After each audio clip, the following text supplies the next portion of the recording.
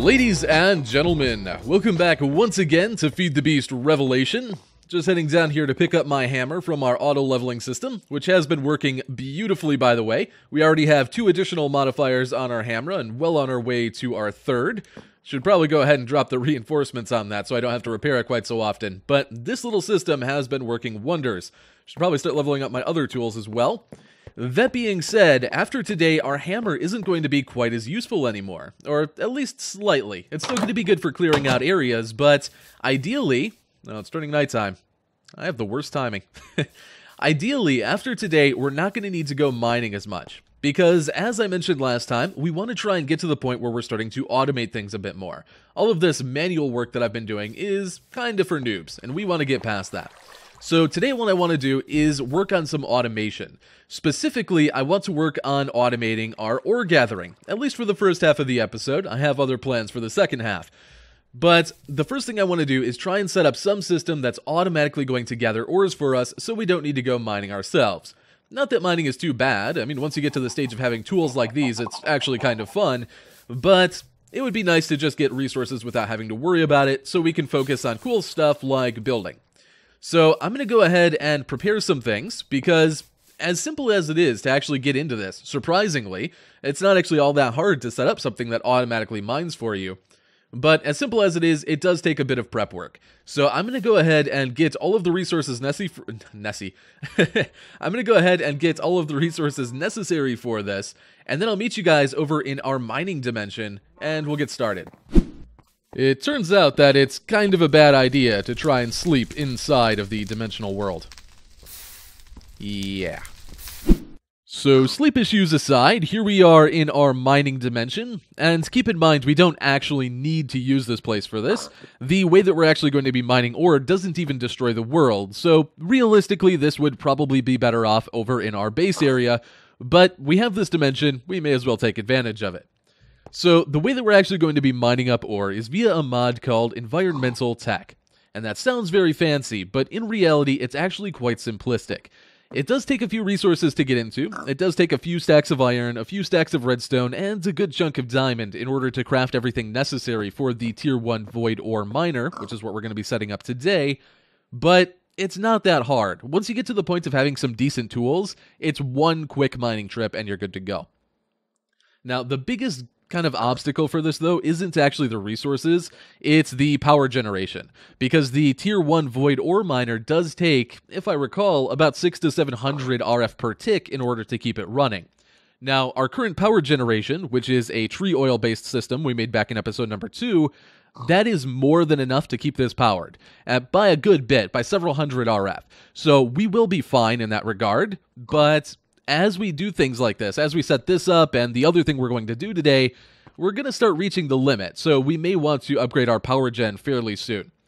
Anyway, that is a problem for later on. How do we get into environmental tech? Well, the mod itself is basically divided up into six tiers based on these crystals right here.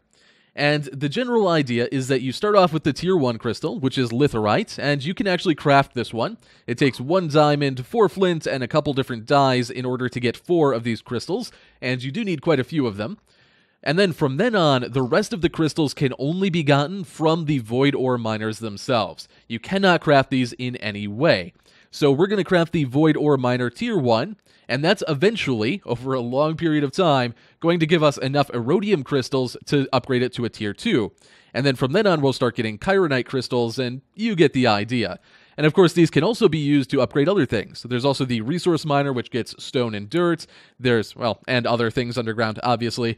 The botanic miner, which gives things like seeds and leaves and logs, eh, plant life type stuff and of course the solar array, which is actually a power generator. It's a solar panel, essentially. And the highest tier of this is ridiculously powerful, by the way. I believe it gives something like 1.7 million RF per tick. Though, when you get to this stage, things do start getting quite expensive. The. I don't know what resource it was. Uh, I guess it was probably the structure frames. Yeah. Each one of those takes two nether stars, and you need dozens of these blocks. So, it does get a little pricey towards the end. For right now, though, it's not too bad. So, all of that out of the way, let's go ahead and start building this bad boy. We're going to want to pillar up a couple blocks. Let's grab everything we need. because this is a multi-block structure and it is going to build itself down a few blocks. So we want it up a little bit. That way we can walk underneath it. That should be good. So the Void Ore Miner controller by itself isn't going to do much of anything. We need to place all of these other blocks along with it. The structure frames, the structure panels, the laser cores, and the clear lens. And you can get a list of the things you need for any particular block from Environmental Tech by left-clicking them with this handy little assembler, which is just two obsidian and a litherite crystal that will actually give you a list of everything that you need in order to complete the structure. So you can see over there, it lists everything we need, and then it lists everything we need for the next tier as well. So that's handy, but it doesn't actually tell us what order we need to craft things in, because this is a multi-block structure. Where are we going to place all these blocks down? Well, the assembler actually handles that for us as well. If we just come up here and hold right-click while looking at the ore miner itself, it's going to automatically take those blocks out of our inventory and place them down where they need to go. So just like that, there we go. Our entire Void Ore Miner is now in place, and we're actually most of the way done already.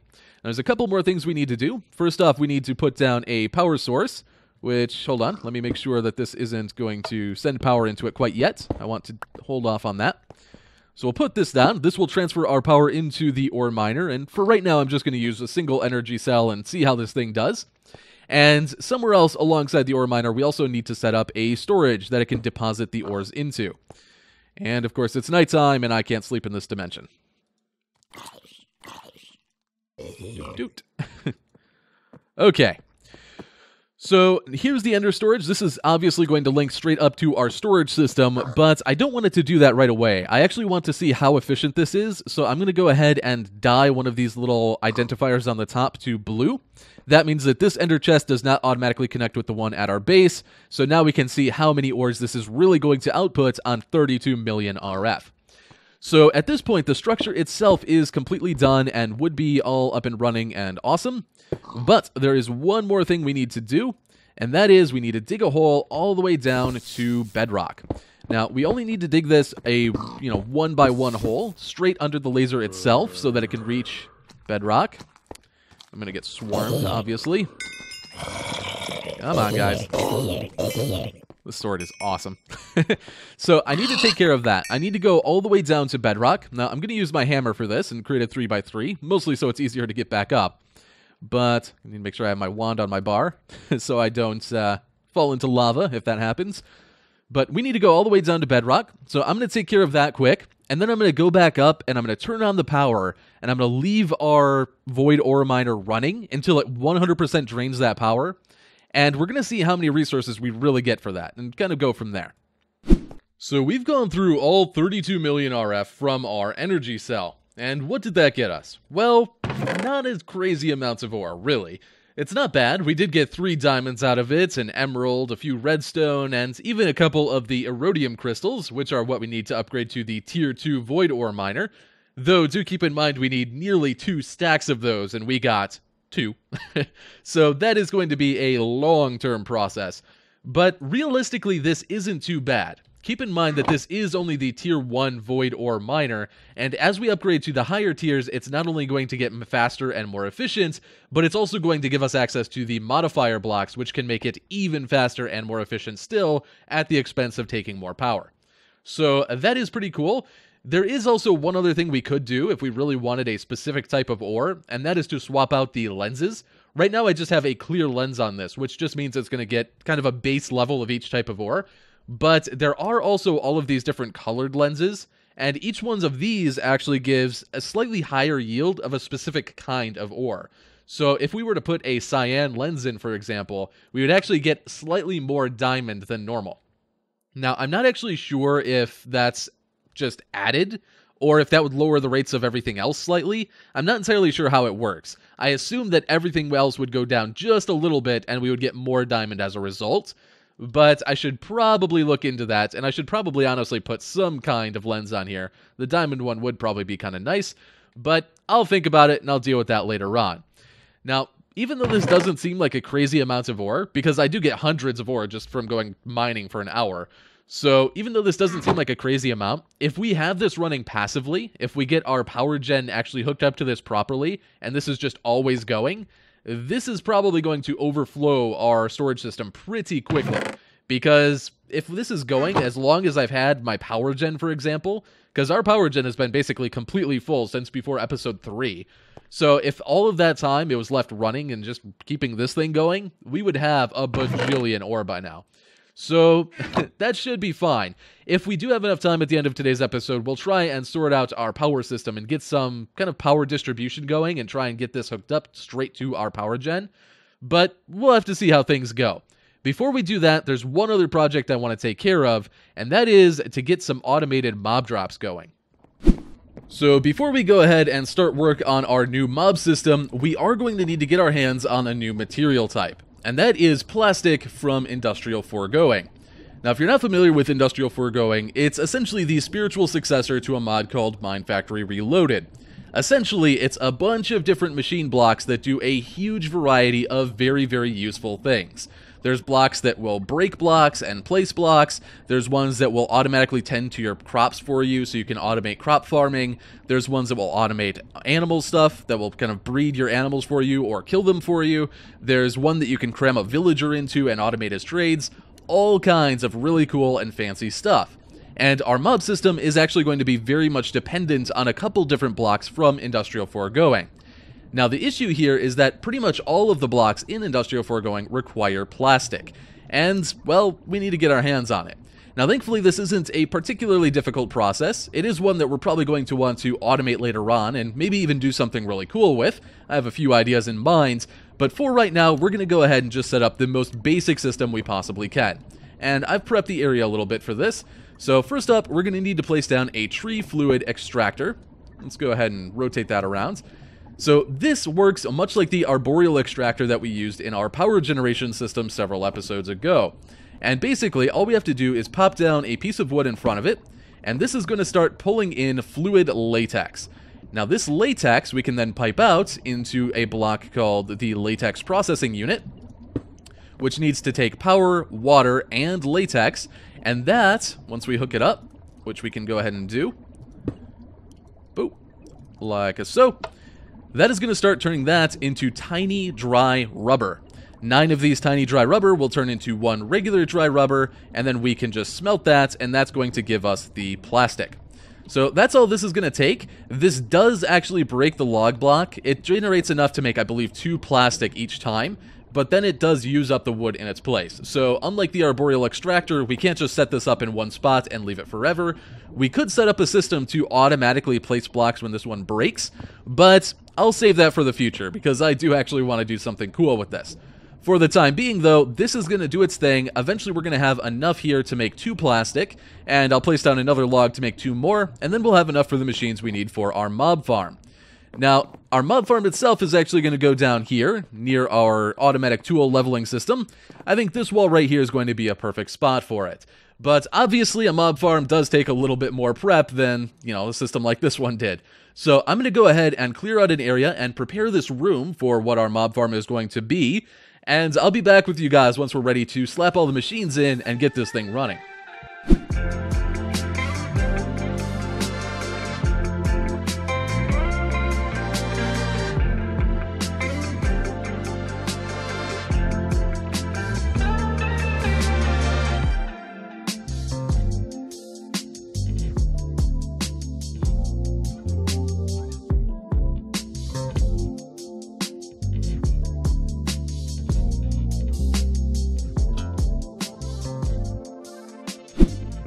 So here is our mob farming room. Pretty basic, but I think it'll get the job done just fine, even if it is just a little box with some lights in it. Though we can automatically turn the lights on and off, because obviously that is important for a mob farm. Can you guess where the light switch is? It's this torch. So this is a torch lever from the Secret Rooms mod, and I'm really glad I discovered this because that mod is actually really, really cool. You can make things like the torch lever, you can make buttons that look like full blocks, you can hide pressure plates in blocks, you can hide doors inside of blocks, you can make one-way glass, you can make trap doors that are hidden around their surroundings, lots of cool stuff like that. So it's a very, very handy mod to keep in mind. Anyway, moving on to our mob farm. Now, I'm going to try and go through this stuff relatively quickly, just so it doesn't take 20 minutes to cover all of it. If I skip through anything a little bit too fast, feel free to ask questions down below, and I'll do my best to help you out. Anyway, Now that we have our area for mob farming, how are we actually going to spawn mobs in here? Because obviously just turning this into a dark room would not be particularly effective. Well, we're actually going to use a block called a mob duplicator from Industrial Foregoing. And the way that this block works, we're going to go ahead and pop this down in the middle of our room, is it takes in a bit of power, it takes in some fluid essence, or liquefied XP, basically, and it also takes in a mob imprisonment tool, and that shows it what mob that it should be duplicating. And then it'll just start churning out the mobs as long as it has those three things. Very, very handy, and it actually spawns them inside of a 9 by 9 by 5 area. So you can see it fills up pretty much the entire room, and it's just going to spawn anything we put in there in that radius. So that is very, very cool. Now we need a way to kill the mobs that are coming from the mob duplicator, and for that we're going to use the mob crusher. So we're going to place this down. We want to spin that around because we do want the grindy bits pointing forward. And this is just going to automatically kill anything inside of a 7 by 7 by 3 area in front of it, just like a so. So anything inside of this area will automatically get killed, it'll take a bit of RF, and it will automatically pick up the XP from those mobs, turn that into fluid essence. You can see how this is going to work now. And it also automatically picks up their items, and we can pipe those out wherever we want to. So that's all well and good, but these two blocks by themselves are not self-sufficient. The mobs spawned in by the duplicator don't give as much essence back as they took to spawn, and that means that we need another source of the fluid essence if we're going to keep this system running. So essentially that means we need more mob spawning. And the best way to do that, as far as I'm aware, is the use of something called a Drop of Evil. This is a drop you get from Wither Skeletons, and it has a few different uses. You can also use it to do stuff with spawners, actually. But what we're going to do here is use it on our dirt. Now, do keep in mind you need to be very careful when you do this, because when you click a dirt, or grass, or any type of dirt, really, it does this.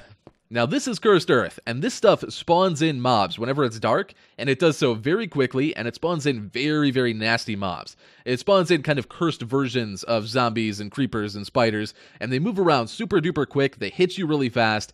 You really want to make sure you don't accidentally let this stuff leak out where you don't want it to be. Because it does sneak around. If I had dirt through the corners, for example, it would find its way out, and then I would have mobs spawning where I don't want them to be. So do keep that in mind. It is really, da- really dangerous. So at this point, we have all of our mob spawning set up and our mob killing set up, but we have a bit of an issue, and that's that all of the mobs need to be inside of this area in order to actually get killed. And that means that any that spawn outside of here could linger around for a long time, and we don't want that.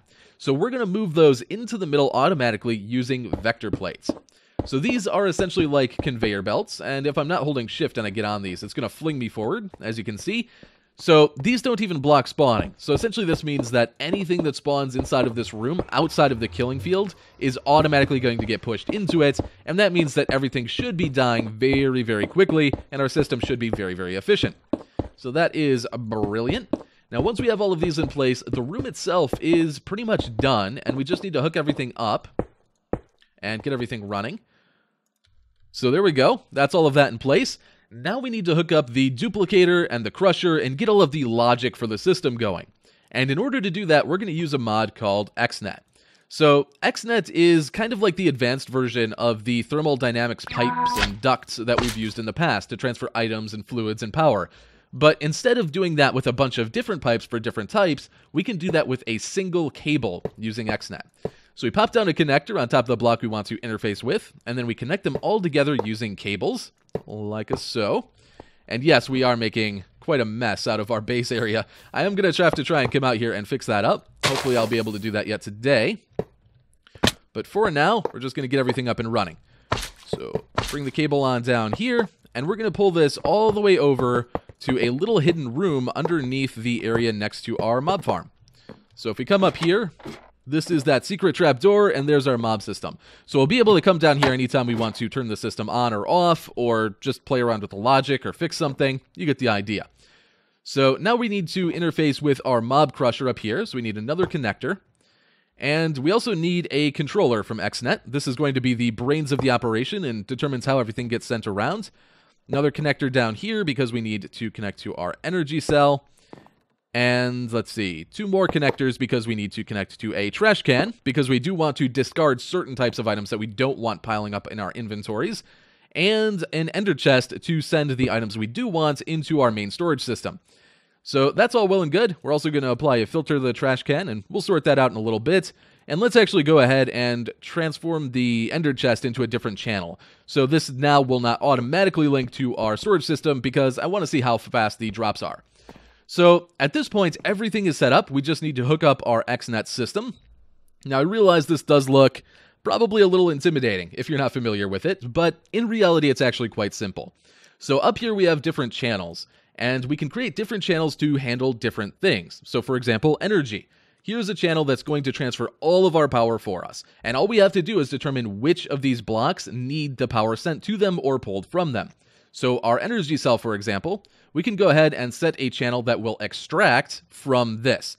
So now the XNet cable will automatically pull power out of there, and now we can just define what channels we want it to go into. So we want some to go into our crusher, we want some to go into our duplicator, and we also want some to go into the controller itself, because that does need a little bit of power. And there we go. That is our entire power system set up. Now we could go ahead and add one in for items. So that's going to extract from the crusher. Going to extract, we're going to want that to be a stack at a time so it can keep up. And we want to input those into both the trash can and the ender chest. And because we're going to be filtering the trash can, it should work just fine like that. And last thing we need to do is transfer a bit of liquid. And I passed it. There we go. So for fluids, we need to extract from the crusher, extract, and we need to insert into the duplicator, just like so. And with that, our entire XNet system is good to go. In fact, I'm going to disable these channels temporarily, just so this doesn't get going when I don't want it to. I do actually need to supply it with a little bit of power straight to the controller, just to get that up and running. That should be plenty. And now, our system is good to go. Once I turn those channels back on, everything should start running, at least once I turn the lights off. But we do still have a couple other problems we want to address first. First, we want to be able to access this room, because we do want to be able to change out the mob imprisonment tool that we put into the duplicator, because we're going to want to swap out for different mobs when we want different resources. Now, I could automate this process using XNet, but honestly, that's kind of cumbersome compared to just walking in here and swapping out the tool. So I'm probably not going to go that route. Instead, what I think we're going to do is just make it so we can get in here and swap it out. Now, we do have one other problem, and that's, well, this giant gaping hole. Obviously, this is not a good thing to have on the side of a mob farm. That is just a recipe for disaster. Now, that does lead to a couple other problems, though, because one, I want to be able to see in here. Even though it is going to be pitch black and we're not going to be able to see very well, I do like the idea of being able to see into the mob farm and have it running. But that, of course, also means that light would be able to get through. So we need a way to see in here, we need a way to walk into here, but we also need to block all of the light from getting into the farm itself.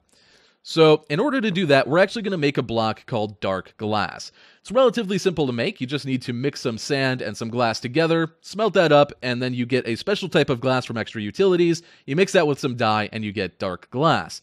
This is a special form of glass that will block out all light but still allow you to see through it. So that solves half of our problem, but we still have the issue of not being able to get in.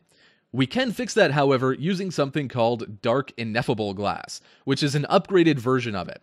So if we put 8 dark glass around a moonstone, which is a diamond surrounded by this lunar dust from extra utilities, and you get that by putting lapis into a resonator, that's going to give you the Dark Ineffable Glass. And essentially, what this does is the same thing as dark glass. It blocks out all light and still allows you to see through, but it allows the player, and only the player, to walk through it. And that solves all of our problems and works beautifully.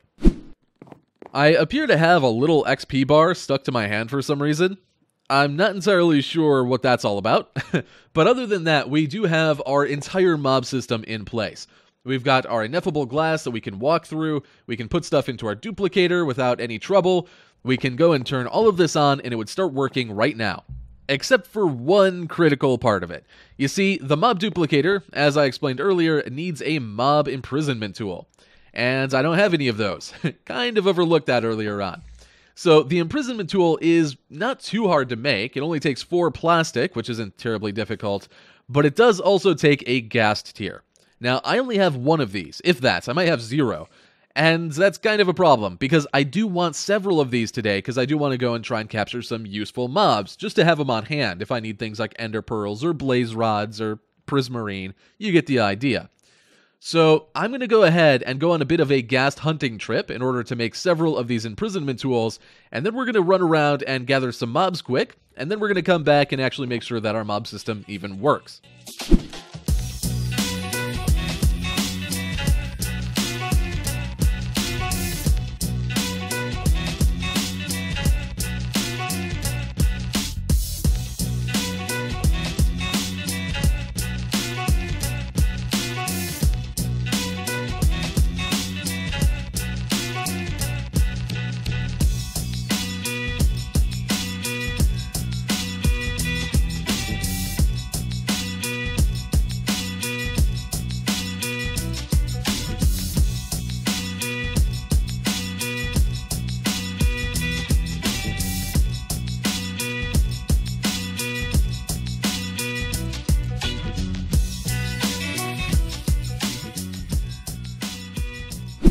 So we are pretty much good to go on our mob system now. We have our mob imprisonment tools, which I'm keeping down here in a chest, so they're conveniently located. I got a Ghast, a Wither Skeleton, a Blaze, an Enderman, a Guardian, and just for fun, an Elder Guardian as well, since I was in the Ocean Monuments already. I'm Not even sure if that's actually going to work with this system, but we'll see, I suppose. Now, I did technically already try out our mob spawning system. Because I didn't feel like hunting ghasts for an hour, I actually brought the first ender pearl back, crafted it into an imprisonment tool, and then captured a second ghast and used that to get the ghast tears to make the rest of these. So, I already know that this works. It seemed to work pretty well, in fact.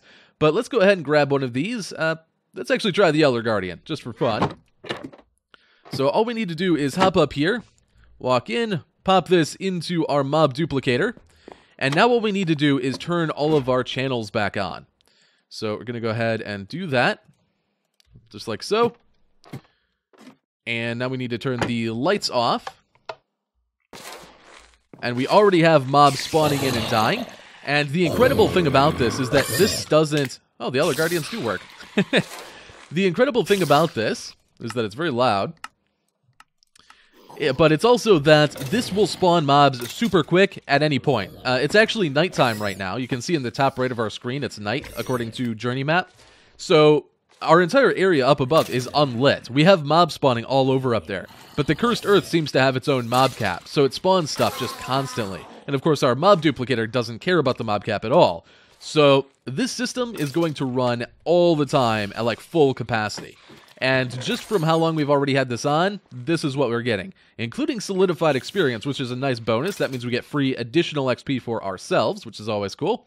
We're getting Prismarine. Obviously, we could put regular Guardians in there and get more of that. Uh, even some wet sponges, which I guess is logical given the whole Elder Guardian thing. We do need to filter out stuff like bows and armor. So let me actually grab this is probably going to, well, this is going to destroy items for a little bit while I do this. But let's go ahead and set up our filter here. Going to go ahead and ignore NBT and ignore metadata. And now if we pop this in here, the bows and and golden boots should automatically get destroyed. And we can add a few more things to that filter as well. I'm guessing these got in ahead of time. Hopefully we don't see any more. And I suppose we could also throw these in there. Did any more get through? Now golden helmet gets through. I'm going to have to deal with this for a little while. Uh, putting in individual armor pieces, I assume that it doesn't matter if they're enchanted or not since we have those ignore tags on. But once I have all of the armor and stuff set into that filter, we shouldn't have to worry about that getting into our storage system. The rest of the stuff, though, is going to be able to pipe directly into our storage and probably fill it up relatively quickly, based on how quick this seems to be going. But that is pretty awesome. So, our mob system seems to be a success later on down the road, we're probably going to want to build something a lot cooler than this, something much more robust and like super duper crazy. Even though this does seem to work really well, I do want to build some kind of like factory or something where we can process mobs. So that should be pretty fun, but for the time being, this is going to serve as a really good way of getting resources from mobs when we need them. Now, we'll see if we need to get specific ones for like creepers, for example. Oh no, he lasted long enough to give me mining fatigue. What a guy. But I mean, we do already have like half a stack of gunpowder and well over half a stack of bones eh, just from the cursed earth spawning. So I don't know that we'll need one specifically for like creepers or skeletons, but it'll be easy enough to get those if we do need them. So for the time being, I think that's fine. Now, for today, though, I think I'm going to have to call it here. The video, I suspect, is getting relatively long at this point. I would like to try and sort out our power situation so we have wireless power transmission instead of putting in energy cells, though this system really doesn't drain power all that much. Uh, keep in mind I did have this running a little bit earlier like I said as well, and we're only down about a million and a half RF so far, so it does last a good while on an energy cell, but I would prefer it to be wireless. There is a relatively easy way we can do that, but we're going to have to wait until next time for that. Now, next time, if we do take care of that, it'll be right away at the beginning, and then I'm going to try and move on and take care of something a little bit more interesting because we've been doing the technical kind of slow stuff for the last couple episodes. We'll probably try and get back to building next episode as our main thing, especially now that we have access to a couple specific resources that I wanted to get my hands on. But we'll deal with that then. For today, I'm going to call it here. So, uh, thank you guys for watching. I hope you enjoyed our little mob farm project and our void ore miner and whatnot, even if it's not the most exciting of stuff to do.